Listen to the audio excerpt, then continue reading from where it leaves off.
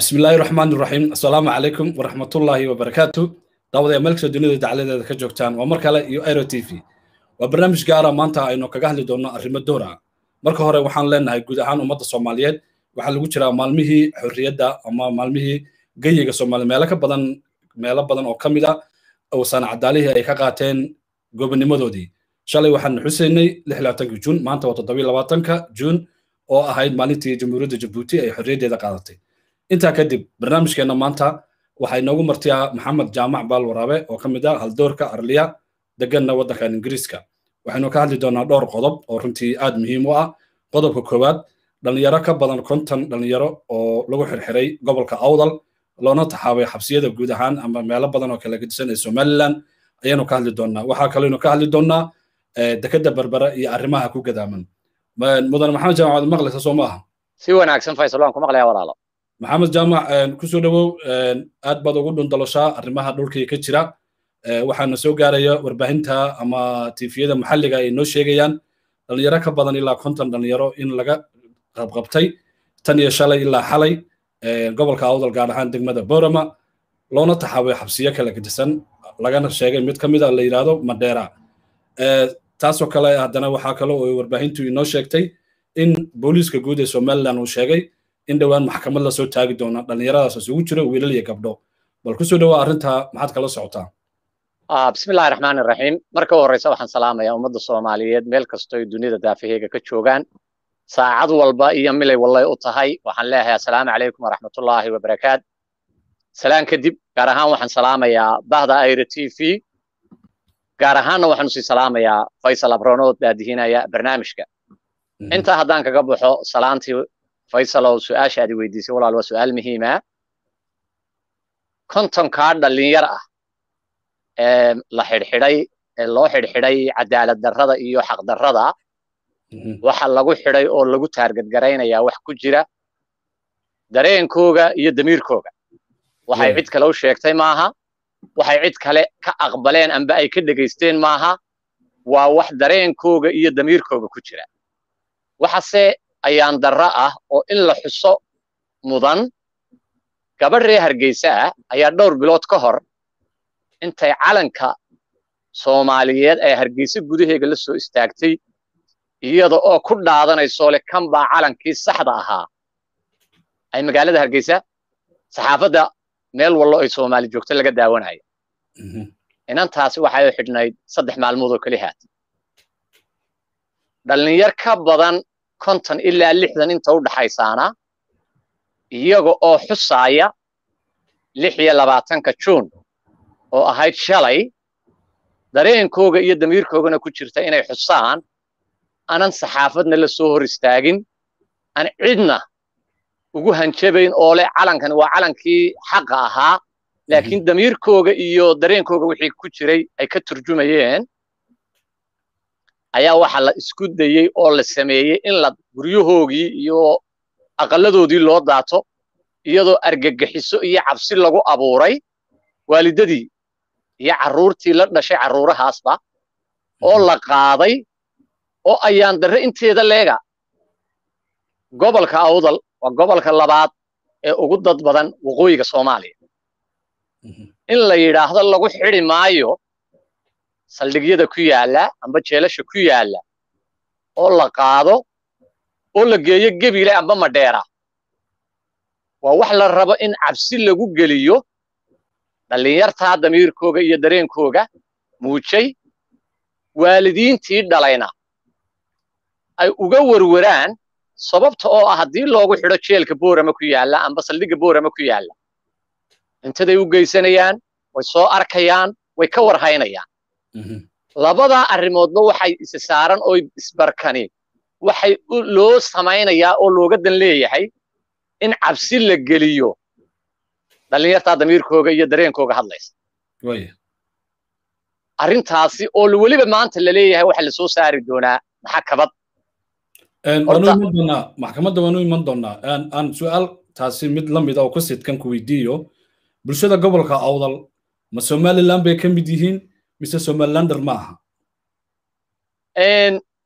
arrintaasi faysalo waa arrin aanan u baahnayn in la sharxo amba daahna amba mugdi awna kaga jirin ummadda soomaaliyeed.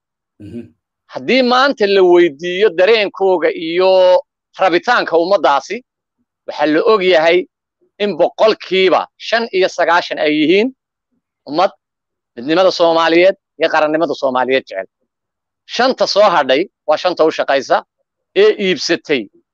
Damiirkii iyo dadnimadoodii ee ubadada iyo deegaanada ay ka soo jeedaanna ka been abuuraya ee waxaan jirin ka sheekaynaya.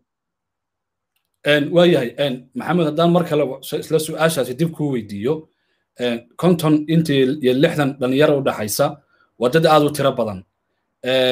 Waxa weeyaan dadkaasi guryahoogii waa loogu daatay baa tiri howlgal ayaa la sameeyey qarash baa ku baxay ciidan badan baa yimid. In arrimahaasoo dhan la sameeyo ama howlo argagixisada aad sheegtay lagu furo waalidiintii iyo carruurtii kale. Maynan noqonaynin mid gobolka oo dhan saamaysa oo dadku ay yihiin inay isweydiiyaan yani calankan iyo dadka iyo doonistooda in laga wada hadlo oo dadkan hadday somalilander yihiinna dee somaliland dhinac yani timuhu u wada xidhmaan hadday soomaalinimo iyo qarannimo soomaaliweyn aaminsan yihiinna ay dee dadkooga iyo dadkooda ay noqoto in la difaaco. Arrimahaasi mayna jirin. Inay su'aashaasi faysalow waa su'aal muhiima. Ummaddani waxa majara habaabiyey ee caburistan iyo ku hayaa tacadigani faraha badan leh waa soomaalida waxay ku mahmaadaa gudunay imaad goyseen. Geed baa wuxuu yidhahdaa gudunay imaad goyseene barkay ayaa kugu jira. In ka mid ah ummaddani ka soo jeeda beelaha gadabuurse amba deegaanada awdal iyo degmooyinkeega ah ayaa u shaqeeya beeshan dhexe. Kuwaas ayaa loo isticmaalaa inay soo qaqabtaan amba ay baabi'iyaan oo ay carruurtani majara habaabiyaan una cagajugleeyaan kana leexiyaan majaraha saxdaa iyo fikirkooga ay aaminsan yihiin. Intaas ayaa sabab u ah faysalow in ummaddan dareenkeyga la caburiyo laakiin haddii la weydiiyo oo caawa amba berri lala dhex maro macrefon iyada oo la cabiraayo damiirka iyo dareenka ku jira ummadda reer awdal. Mar labaad baan kuugu celiyaa boqolkiiba shan iyo sagaashan waa ummad midnimada soomaaliyeed soomaalinimana aaminsan. Waayahay mudane maxamed waxaad soo ka shanqarisay beesha dhexe beesha dhexe dabcan dadku waxay u yaqaanaan beelaha degan gudaha ama gaar ahaan gobolka togdheer iyo waqooyi galbeed qaybo ka mid a beesha dhexe qudheeda ayaa kala cabanaysa oo wax kala jiidanaysa. Maynan habboonayn cidda dhallinyaradan ama dadkan ama nidaamkan haysta maanta in farta lagu fiiqo oo la sheego shakhsiyaadka ay yihiin hawshan laga cabanaya ama dhallinyarada ay doonayaan inay ka gilgishaan. Taasi maynan habboonayn oo aanan inay halkii dusha layska wada saari lahaa dad badan oo meelo kala duwan ama aragtiyo kala duwan leh iyaga u dhoodo soo dhowo mar kale.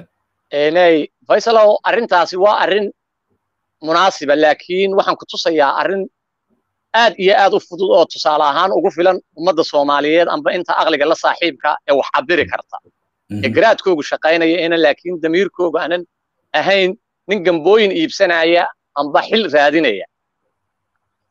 Markaynu ka hadlayno waqooyiga soomaaliya harti oo koonfurta degan bartanka oo degan beesha dhisaaq galbeedka oo degan beelaha gadaboors maanta haddii aad aragto fikirka waqooyiga ee administrationka amba maamulka ka jira waqooyiga haddii ay ummad iska hadasho oy saddexdaa amba afartaa beelood wada fadhiyaan cidda ka jawaabaysa waa beesha dhexe sababta oo ah waxay uga jawaabaysaa waxay arkayaan in meeshani iyo maqaamkani iyagu ay leeyihiin. Cidda ay ka burburaysaana ay iyaga tahay. Cidda intaraska gaarka ku qabtaana ay iyaga tahay. Taasaa faysalow markaa waxa ay abuureen in labada beelood ee darifyada ay ka sameeyaan kuwa iyaga u adeega xambaarsanna aragtida. Beesha dhexe ay waddo kana iibiya. Amba kuba caburiya iyagoon kana iibinayn kuna caburiya. Labada beelood ay ka soo jeedaan ee beelaha darifyada dadka dhiigooga iyo dadkooga iibsadayna waa afartaa qof ee u shaqaynaysa amba ka yimaadaan beelaha bariga amba ka yimaadaan beelaha garbeedka way haddaan mar kale ku soo laabano muddo soddon sano ayay iminka nidaamka somaliland uu maxamed uu jiraa. Sida aad sheegtay dad u shaqeeya ayaa jiraad leedahay boqolkiiba san iyo sagaashanna waxaa tiri bulshada awdal iyo waqooyi galbeed gaar ahaan degmada gabiley dadka degan boqolkiiba shan iyo sagaashanna ma aaminsanaad tiri somaliland. Shan iyo sagaashan waa tiro aad u badan. Maxaa loo waayay soddonkaas sano? Dad ka dhiidiya oo aragtidooda iyo fakarka iyo waxay aaminsan yihiin iyo soomaalinimadooda la soo bambaxa oo si toosa u qaadaca waxa meeshan ka jira. Maxaa taa loo waayay? Inay waa su'aal muhiima faysalow. Waxaan ku tusayaa arrintaa inaanan afka ka lahayn amba aynayga ahayn brobagando markaan leeyahay boqolkiiba shan iyo sagaashan. Gobolka awdal iyo degmooyinkiisu weliba gaar ahaan degmada boorama marka ay lagu sameeyey tirakoob kama hadlaayo tirakoob ay sameeyeen administrationka beesha amba nidaamkaa ka jira waqooyigu. Waxaan ka hadlayaa international communitygu waxa ay sameeyeen tirakoob wuxuu noqday gobolkaasi gobolka labaad ee ugu dad badan. Wixii ay iyagu ku sheegayeen doorashadii ugu dambaysayna tirada lagu qiyaaso degmada boorama oo keli haata laba boqol iyo konton ilaa laba boqol iyo toddobaatan ayaa lagu qiyaasaa. Dadka ka codeeyey degmadaasi waxay ahaayeen afar iyo sagaashan. Halkaa waxa inooga muuqata in boqolkiiba sagaashan boqolkiiba siddeetan ay yihiin dadkaasi inayna aaminsanayn fikirkaas sababta oo ah maba qaataan kaarasha mana codeeyaan. Waxa adduunyada laga iibiyaa amba laga iibinaye la leeyahay doorasho cod iyo qof baa dhacday. Inay noqoto in intaa u shaqaysta ee labada darif ka soo jeedaayey inay soo abaabuleen oo ay ku soo abaabuleen laba arrimood lamber one wax qabyaalad layidhaah oo qurana oo baabi'isay labada darif oo loogaga faa'iidaysto. In lagu kala qaybiyo oo mar walba ayna gaadhin muwaafaqa ay ku gaadhaan danaha ay u socdaan. Arrinta labaad oo ah dhaqaale gambooyin la soo siiyo oona dadkan haddii la yidhaha war maxaad u codaynaysaa iyo aragtida ay kaamaba qarinayaan waxay odhanayaan war lacagtaan qaadanaynaa afartaa maalmood ay doorashadu socoto baabuurtana shidaalkaa la nooga buuxinayaa annaguna qayilka iyagaan helaynaa intaasaan uga dan leh waa wax anan damiirkooga iyo dadnimadooda laakiin maalmaha ay hawshaasi socoto. Haddii qof qof loo waraysto waxa wallaahi inay xaqiiqda ka dhawaajinayaan ay odhanayaan waarniyo intaasaan uga dan leenahay anigu gobolka waan arkay waanan ogahay waanan xaqiiqiyan waxa aan ka warramayaa wax wax dhab ah oo meesha yaalla. Waayahay mudane maxamed jaamac baal waraabe dhowr sano ka hor adigu ku dhahda magaalada boorama ayaa lagugu xiray. Maxaa lagugu xiray maxaad qabanaysay? Xuskii markaa aad samaynaysayna muxuu ahaa? Soo dhowaa mar kale. Aad iyo aad baad u mahadsan tahay faysalow taariikhdaasi waa taariikh lama ilaawaana laakiin u baahan bulshada meelaha gadabuursi meel kastoy dunida daafeega ka joogaan in la xuso loona gudbiyo international communityga. Dad maati ah oo nooc walba leh oday leh hooyo leh awlaad yaryar leh kuwa buka leh kuwa dhaqaaqi karayn leh.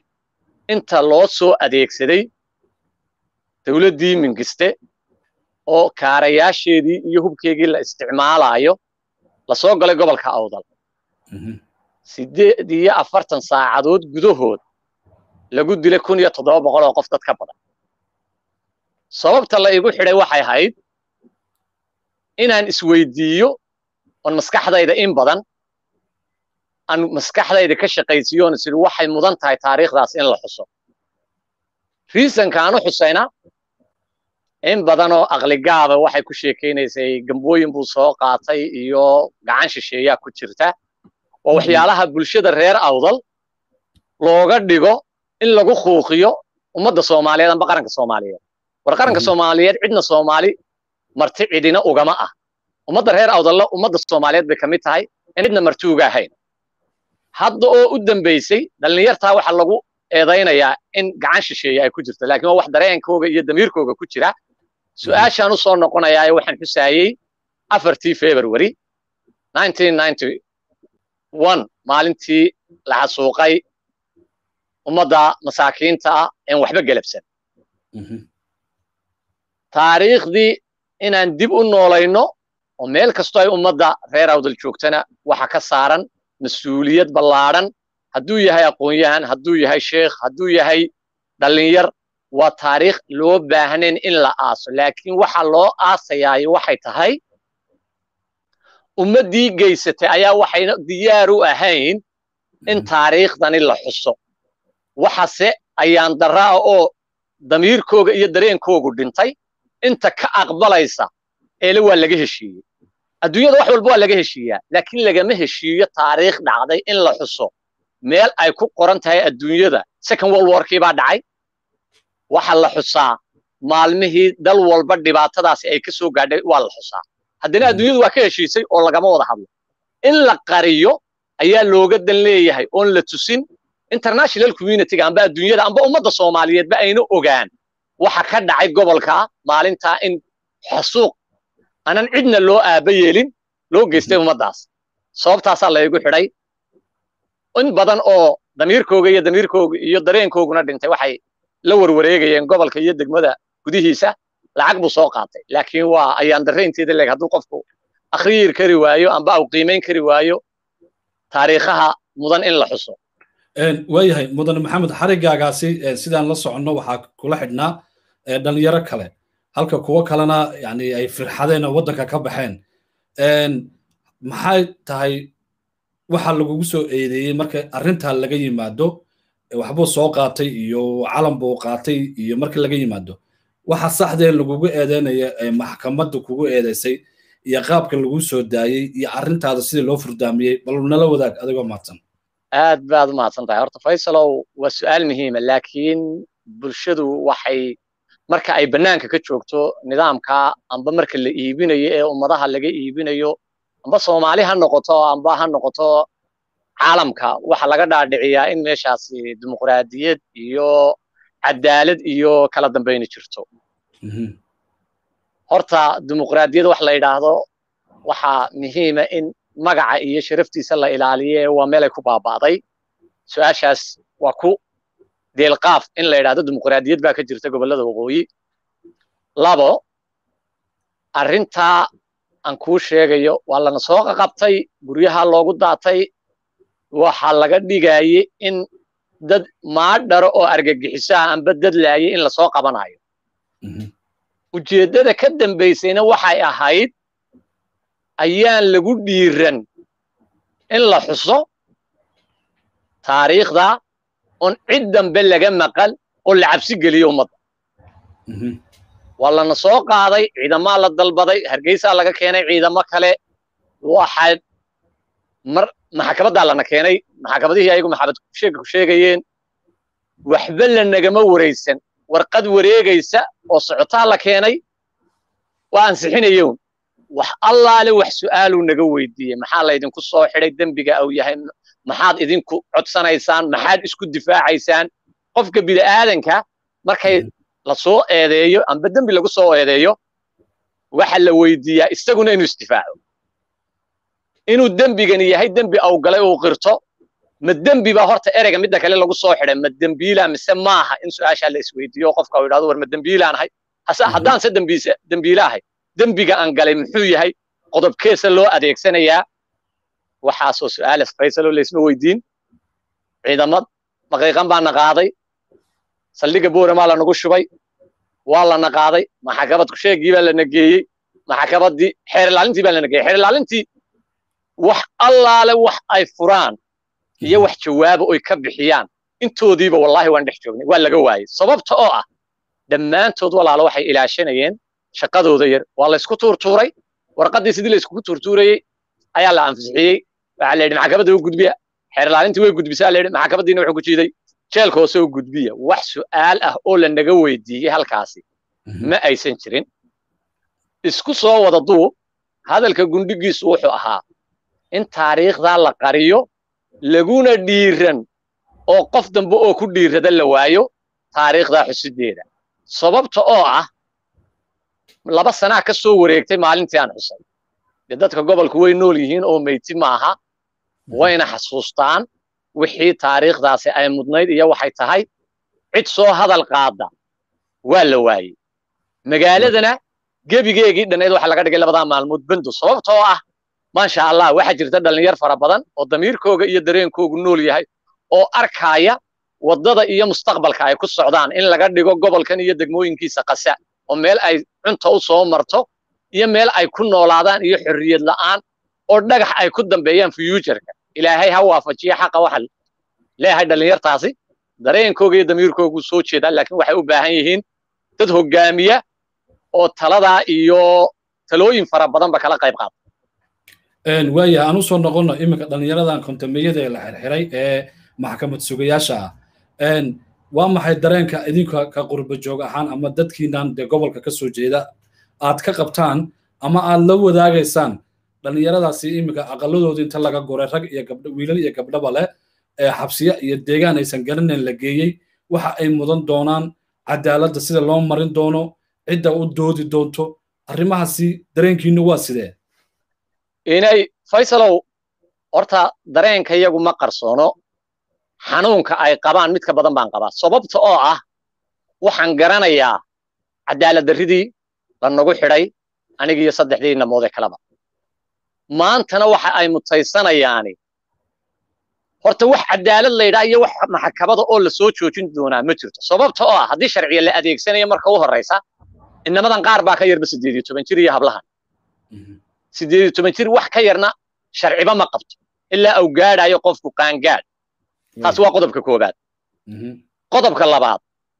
Waxa loo geynaya madheera amba gebilay waa aniga kuu sheegay waa si ayna berri ka maalin ugu dhiiran damiirkooga iyo dareenkooga oyna u cabiri karin rabitaanka ku jira dareenkooga.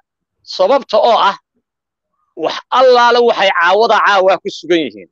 Waa habla yar yar oo guryahoogii laga qaaday oo meel la geeyey waxase ayaan darre inteeda leega faysalow ninka ab amba isir la sheeganaya ee oggolaaday in inan inantiisa la mid ah amba inan walaashii la mid ah in laga qaado deegaankeygii horta waa xaaraam. Waa midh subxaanalla in la aqbalo inama la garaya in habla la qaado.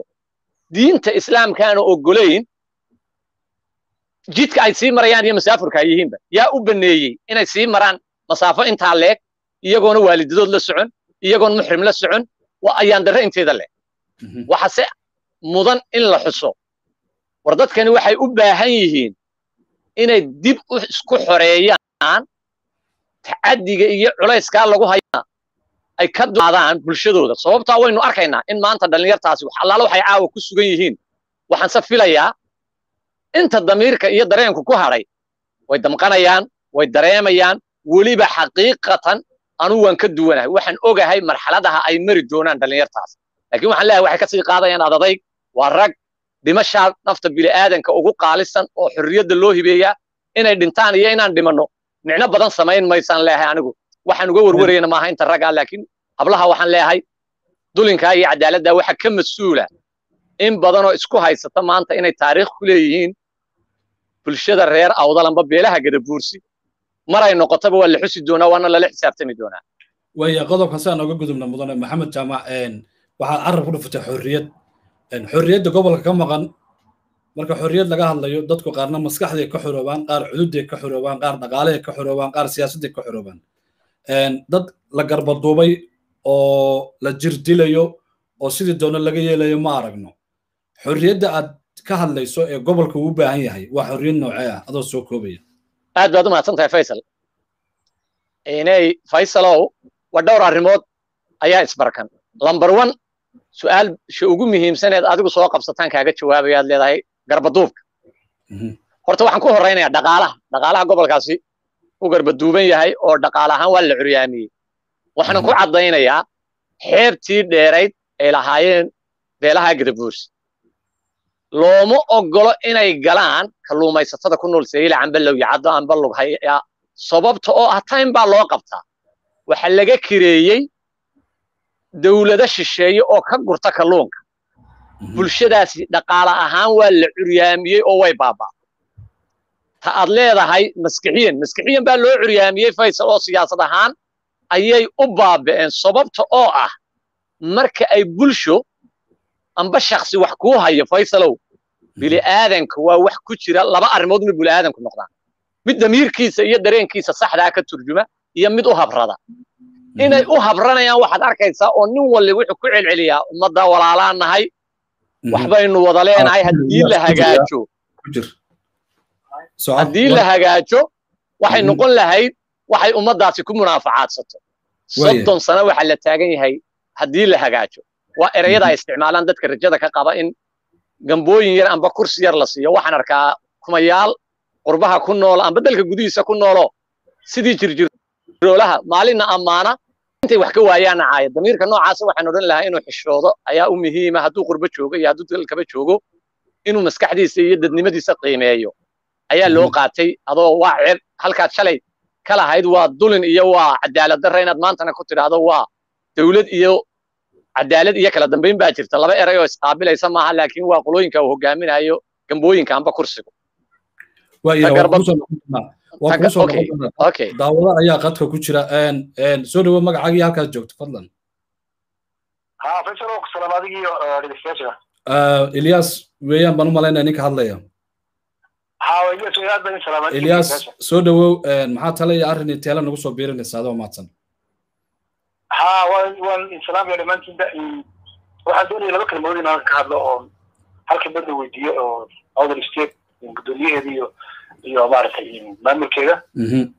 Halka badda inaan ka dhiibto maaragtay ummadda soomaaliyeed shacabka reer odale maaragtay maamulka hargeysa laga iibgeeyey. Soo dhawow horta waan ka xumahay dadkaas reer awdal shacabka dhalinyarta sida xun loo galaayo oo loo geeyey qabiil qabiilada soomaaliyeed ka mid ah oo qarankii burburiyey in dowlad looga dhigo dadkii u geeyey horta waa dadkoodii aad baan uga xunahay dadka la dhibayana waa iyaga. Hal kalmadood baan leeyahay shacabka reer awdal gaar ahaan dhalinyarta iyo dadka la xiraayo iyo dadka damiir kale innaga waxaan leeyahay dadku hadday maqlayaan maanta gobolka awdal jooga. Dadka ku dilaya isaaqna maaha asalmna maaha shisheeyana maaha. Waa dadka maaragtay imboro macaawa dhex fadhiya nin cabdiraxmaan tudwa la yidhahdo oo hargeysa jooga. Nin saaweer la yidhahdo oo maaragtay boorama jooga. Iyo wax waxa maamulka hargeysa la shaqeeyay boorama joogo. Ayaa horta ka mas'uul ah oo in loo dilo ah waajib ah ilmaha hargeysa la geeyey markaasay imanaysaa in la xisaabtamo. Laakiin inta dadkaasi ku dhex jiraan gobolkan awdal iyo dadka bakhaarada haysta ee maamulka hargeysa dabada ku haya xaaladeen waxay noqonaysaa in aanu gumowno maamulka hargeysa. Maanu waxaan taaganahay markaas shacabka reer awdal in ay iska xoreeyaan dadkan boorama tolnimada u sheeganaya oo cadowgoodii ah in nin walba ninka kale ku jeesto kabacdina iyadaa imanaysa in layska xoreeyo marka ay sameeyeen marka intaasaan kaga baxay hadalka. Reer awdal isad waxaan leeyahay maamulkeeda iyo iyo dhammaan siyaasiyiinteeda hal kelmeed baan weydiinayaa. Walaalayaal waa og tihiin sanaag inay go'day. Sangeri inuu go'ay khaatumana waa og tihiin inay go'ayso oy hawsheeda iyo taladeeda iyo daniheeda ay wadato. Bulshada reer awdalla snm kuma taagno. Awrku waxaa la yidhaha hadduu baabacada kugu hayo cid kaa kicin kartaa ma jirto. Gudaha gobolka awdal baabacaa jirta cadowga dhexdeeda ah oo ka daran oo boorama dadka ku haysta. Sidee baabacadaas dadka ku taagan oo ummaddan sheeganaysa uga dulqaadaysaan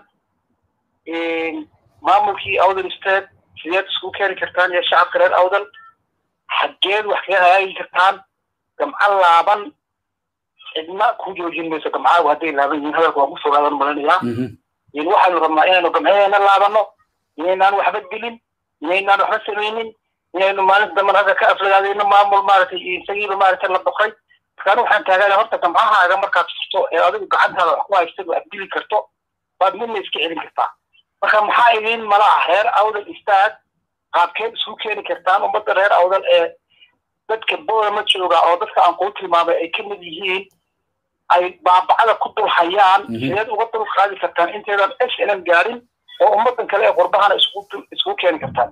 Intaasaan kaga baxa hadalka aad iyo aad baad umahadsan tahay oo kaasi wuxuu ahaa ilyas oo ka soo hadlaya dalka sweden mudan maxamed jaamac ku soo dhawow aad baad umahadsan tahay faysal. Ilyas horta marka horeysa waan salaamayaa. Waxaan leeyahay allah kuu barakeeyo aqliga iyo damiirka kugu jira. Mid waa ka jawaabay ilyas oo isagaa ka jawaabo uma baahna inaan ku laabto walaalo. Waa taa maskaxdiisa iyo damiirkiisaba ku jirta uu sheegay.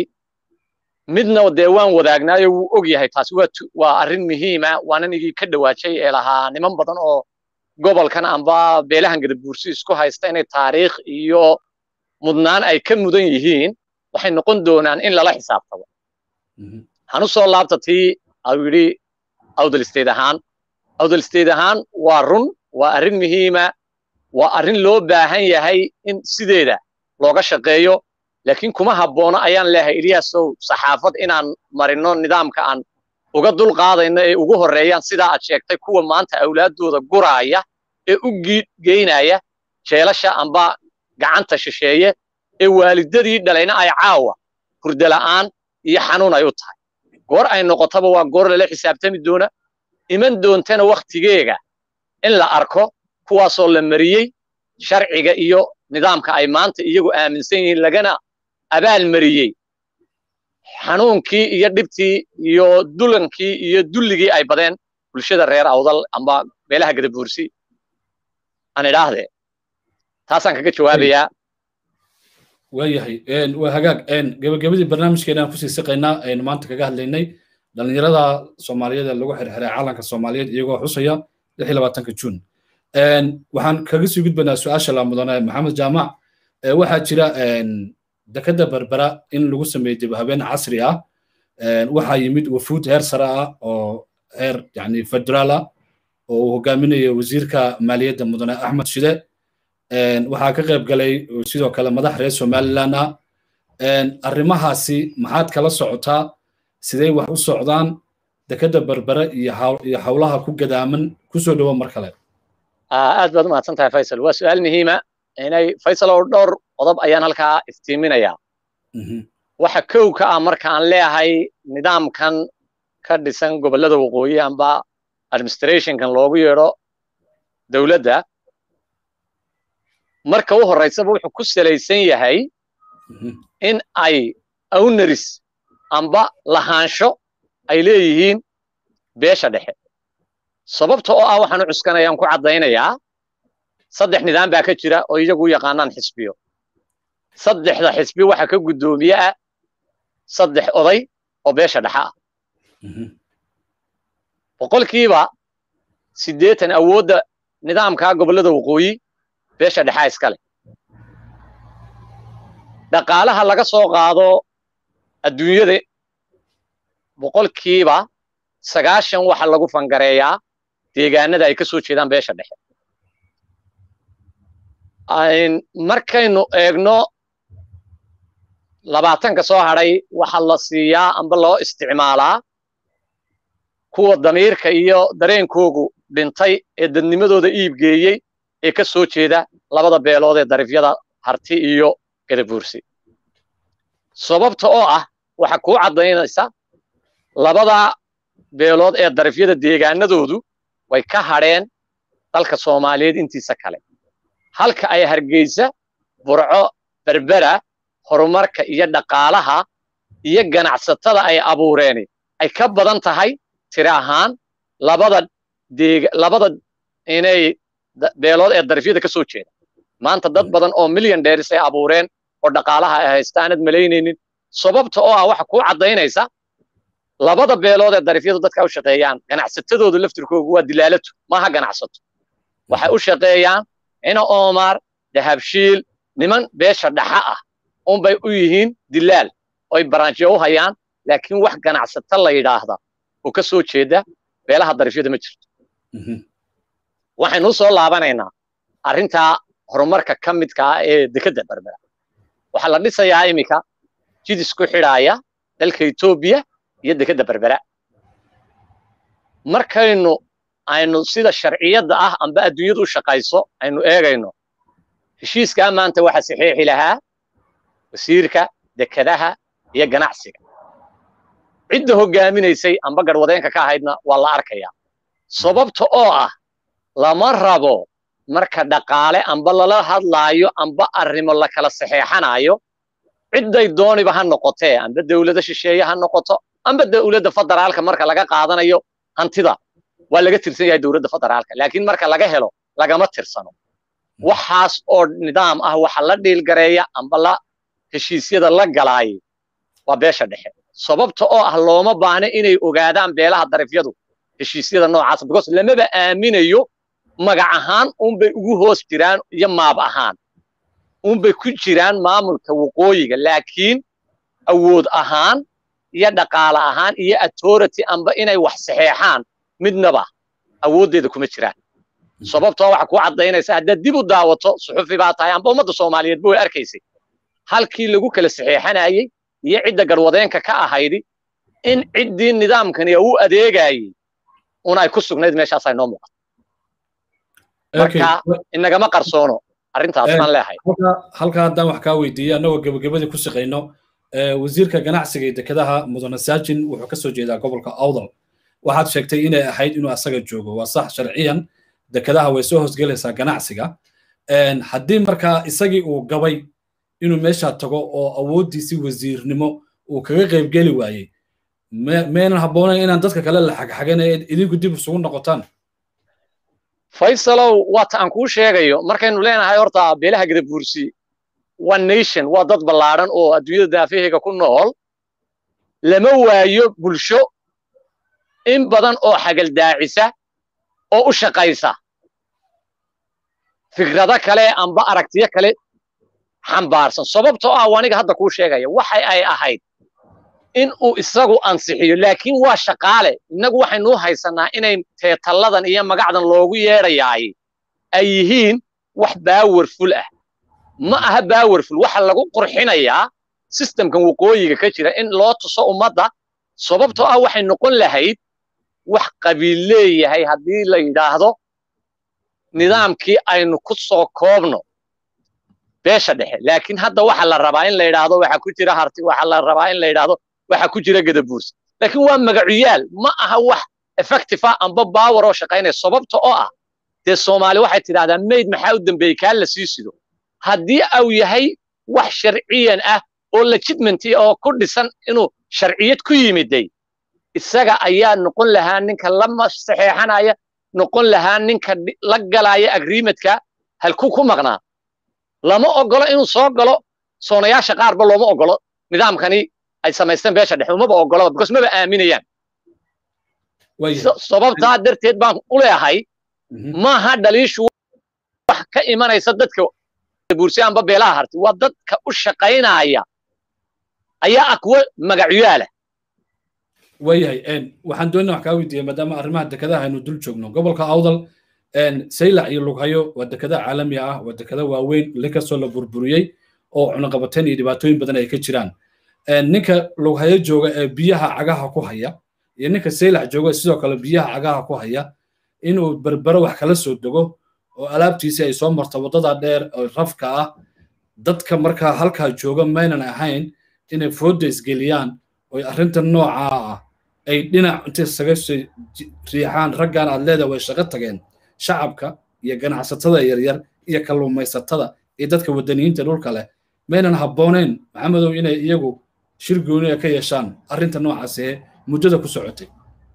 Faysalow waa arrin muhiima walaalo tusaalaan ku tusayaa inay waxaan kuugu noqonayaa taariikh mudan oon anan ka been sheegaynin oo xaqiiqo ah. Labadii kun iyo lix iyo tobankii ayaa ganacsato beelaha gadabuurse amba dadka degan lughaye iyo saylac ay damceen inay kala soo degaan dekedahoogaasi shidaal. Cashuurtiibaa waxa lagaga dhigay halkii lagaga cashuurayey foostada shidaalka sideed iyo toban dollar berbera ayaa saddex jeer la labinlaabay waxay noqonaysaa qofka ganacsadadii markaa muxuu ka faa'iidayaa marka cashuurtii berberaka ka soo qaadanaya sideed iyo toban lagu cashuuray ee isna saddex jeer la libinlaabay ma awoodi karaayo in markaa au ka helo profit inuu halkaa ka sameeyo. Sababtoo waa la curyaaminayaa su'aasha aan haddaba u soo noqda ad leedahay inay fooda isgeliyaan.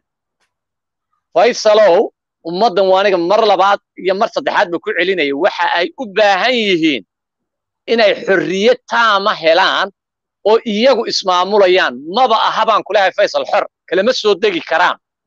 Kama soo iibin karaan. Yeman baa u muuqata saylac saacada gudaheed bay ku imanayaan.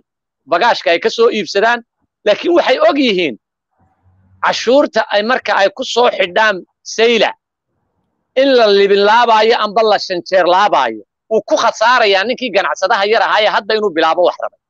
Marka waxa u muhiima in hadda laga baxo ganacsi iyo horumar iyo horumarka iyo ganacsigu goormu muhiim yahay horta faysalo ummaddu inay su'aal isweydiisaa muhiim waxa uu muhiim yahay marka ay ummaddu xorriyad haysato ummaddan horta waxay u baahan tahay inay xorriyad taama hesho iyadu isku tashato kadib ayaa laga hadli karaa horumar iyo dad iyo dal la dhisaba. Laakiin hadda waxay u baahan tahay inay xorriyad madax bannaan ay helaan oo iyagu isku maamulayaan. Gebagabadii mudan maxamed jaamac waa baaq aad u dirayso bulshada airo t v kala socoto qurbajoog iyo qolqoljoogba qurbajoog iyo qolqoljoogba horta waxaan leeyahay marka horeysa waxaan aad iyo aad u bogaanidinayaa airo t v uu hoggaan ka yahay amba garwadeen ka yahay faysal waxaan leeyahay garabkiina allaha galo horumarkiina iyo nidaamkiinu halkaa ka sii socdo. Ummadda qolqoljoogta iyo qurbajoogtana waxaan leeyahay haddaynaan indhaha iska qarin oynaan qabyaaladda yar ee qashinka ee lagu kala qaybiyo bulshadani amba beelaha gadabuursi loo la yidhaahdo aynu u adeegno. Oo maanta waxaad mooddaa in waxaad mooddaa mararka qaar dadka qaadsaday oo isticmaalayaan iyaga oo aqoon iyo aqliba sheeganaya iyo waayo aragnimo ayaa su'aalaha ay faysal isticmaalayaan hadduu qofkaasi dib isku dhegaysan lahaa malaha isagoo is odhan lahaa munaasib ma ay hayn inay afkaaga ka soo baxdo ayaa waxa ay isticmaalaan maanta. Innagay inala jirtaa dawladdu war dawladdu waayo ma reer baa dawlad noqda. Waa reer waxa ay leeyihiin ee bulshadooda ku kala qaybinayaan marka waxaan odhan lahaa waxaynu u baahannahay inaynu gacanta fidinno sida ummadda soomaaliyeed ay u nooshahayna u noolaanno madax bannaani taamana oo gobolkan iyo degmooyinkiisu helo taana waxaa lagu gaadhayaa innaga oo midowna tala mida muruq mida iyo maskax mida aynu yeelanno cidda aynu ka midoobayna u horraysaana ay tahay kuwa damiirkooga iyo dadnimadooda iibshay ee meel aw qof bili aadan oo damiir iyo dareen leh awna dhex fadhiyin dhex fadhiya ee maanta u dambaysayna boqolaalka kun kaga baxday inay geliyaan saddexdii oday ee isku midkaa inay berri u tartamaan taas ayaan darre inteeda leega inay cibaadaystaan oo masaajidada ku darsadaan amba ay sadaqa kula baxaan ayaa u dhaami lahayd baan leehay waayahay xildhibaanada iyo senatarada dowladda federaalka ee gobolkan matala iyaga waa maxbaaq aad u jeedinayso. Aa iyagana yaho waxaan u jeedinayaa horta senatarada matala ee ka soo jeeda gobolka awdal iyo degmooyinkiisa amba beelaha gadabuursi waxaan baaqan u dirayaa anoo ka faa'iidaysanayo su'aal muhiima i weydiisay faysalow bulshada kala saaraysa amba soo xuli doonta xildhibaanada xamar jooga waxaan leeyahay ayuuna hal qof inagaga soo noqon dadkaa maasha joogay. Sababta oo ah ma hayno hal xildhibaan oo ka hadlay golaha baarlamaanka ee dowladda federaalka oo sheegaya dulinka amba wixii ay xaq u lahaayeen deegaanada awdal iyo degmooyinkeega sababta oo ah looma dooran dowladda federaalka muqdisho iyo amba koonfur waxa ku dhaarteen xildhibaanadaasi inay qaranka soomaaliyeed u shaqaynayaan qaranka soomaaliyeedna kuma eko koonfurta soomaaliya waxa uu ku eegyahay min lowyacaddo ilaa iyo min xuduudda kenya